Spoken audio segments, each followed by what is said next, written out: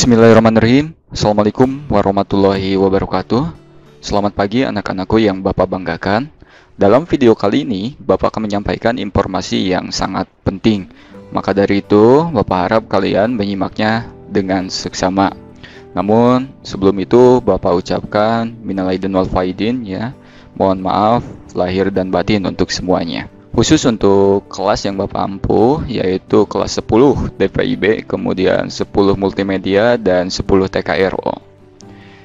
Informasi yang akan Bapak sampaikan yang pertama adalah berkaitan dengan perekapan nilai akhir atau nilai final di mata pelajaran kita, simulasi dan komunikasi digital untuk tahun ajaran 2020-2021. Yang sebentar lagi kita akan melaksanakan PAT atau yang disebut dengan penilaian akhir tahun. Nah, pada video yang pertama Bapak sudah jelaskan bahwasanya untuk nilai akhir yaitu kumulatif dari tugas, kemudian PTS ataupun PAT. Dan untuk bobotnya, tugas itu sudah tahu dan Bapak sudah jelaskan juga itu bobotnya 60%. Jadi lebih besar daripada bobot penilaian baik itu tengah semester kemudian semester ataupun penilaian akhir tahun yang akan kita hadapi nanti. Bobotnya 40%. Maka kalian sudah mengetahui indikatornya. Jika kita tidak melaksanakan tugas dengan maksimal, maka itu akan kehilangan beberapa bobot yang sangat besar sekali. Maka dari itu, silahkan buka kembali GCR-nya, Google Classroom-nya, periksa di dalam menu tugas kelasnya kerjakan tugasnya sesuai dengan petunjuk. Dan untuk tugas dan petunjuk, tugas sudah jelas ya. Itu terdapat di Google Classroom. Nah, supaya lebih jelasnya, Bapak akan lihat di sini banyak sekali yang masih belum menyerahkan tugasnya dari setiap tugas yang diberikan itu belum menyerahkan sini misal ada 5 yang sudah diserahkan, kemudian 29 lagi belum menyerahkan tugas.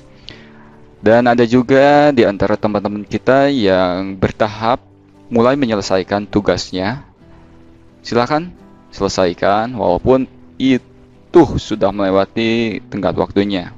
Artinya terlambat dikerjakan. Daripada tidak mengerjakan, kalian sudah bisa mengindikatori nanti hasilnya akan gimana.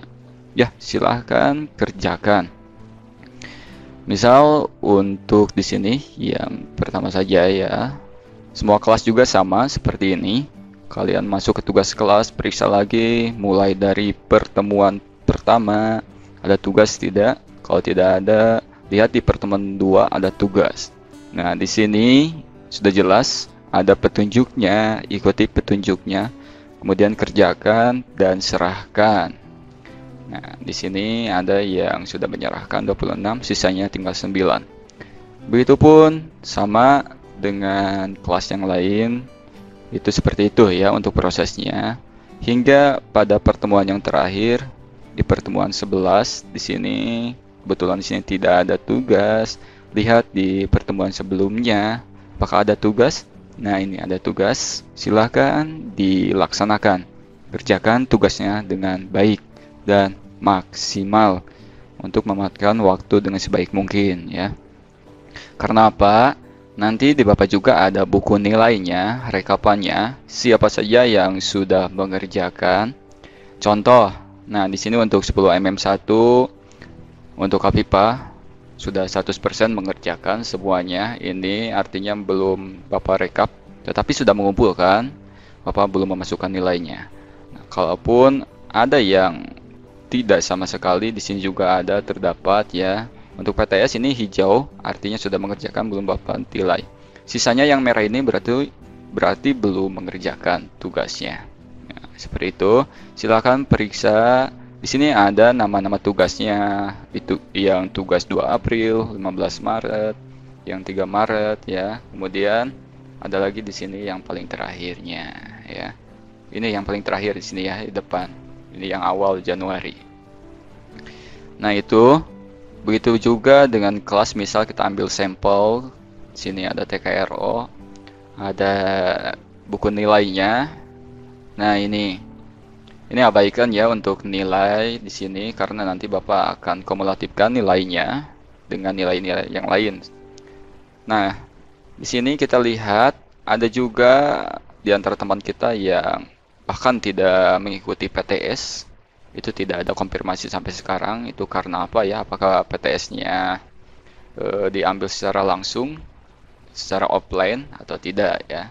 Nanti informasikan sebelum tanggal atau deadline yang sudah Bapak tentukan. Silakan laksanakan tugas-tugasnya. Nah itu untuk penilaian. Jadi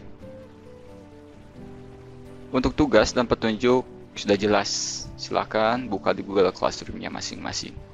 Kemudian jika bermasalah ataupun terkendala ketika anak-anakku atau kalian mengerjakan di Google Classroom tidak ada alasan lagi di sini Bapak sudah sudah menyertakan dengan cara bisa kontak saya secara personal ya jadi kalau bermasalah misal seandainya kalau Google Classroom itu kan menggunakan kuota sebenarnya kuotanya ada juga yang terpisah yaitu kuota pembelajaran yang cukup murah juga untuk kita ya, mulai dari 2000 dan sebagainya. Adapun jika hal tersebut e, terkendala juga, silahkan langsung kontak person kepada saya ya secara personal dengan menyebutkan nama dan kelas hingga nanti bisa e, bisa diselesaikan solusinya. Yang terpenting bagi kalian adalah tugas tersebut dilaksanakan dan dikerjakan. Kemudian untuk batas pengumpulan yaitu tanggal 6 Juni kita sudah tahu bahwa tanggal 6 Juni itu ya itu hari minggunya sebelum melaksanakan PAT agar di buku nilai di sini sudah ada nilainya sehingga Bapak tinggal merekapnya. Nah, itu ya untuk anak-anakku terutama untuk jurusan atau kelas yang Bapak ampuh ya. Kemudian terakhir ini, ini ingat ya untuk tenggat waktunya sampai 6 Juni 2021. Yang terakhir, manfaatkan waktu kita sebaik mungkin sebelum nanti nilainya sudah tertera dan sudah dilaporkan kepada wali kelas masing-masing. Ini untuk nilai raport kalian semuanya. Dan untuk kesimpulannya dari video yang Bapak sampaikan adalah jangan pusing kalian untuk nilai harus dari mana tetapi silahkan kerjakan tugas-tugasnya. Kemudian ikuti PAT yang akan datang agar kalian benar-benar manfaatkan dari apa yang telah kita pelajari hingga saat ini, terutama di mata pelajaran simulasi dan komunikasi digital. Nah, itu anak-anakku informasi yang dapat Bapak sampaikan. Semoga kalian dapat menyimaknya dengan seksama, silahkan mulai dilaksanakan. Akhir kata, jangan menyerah dengan keadaan, tetap semangat, jaga kesehatan. Akhirul kalam, Assalamualaikum warahmatullahi wabarakatuh.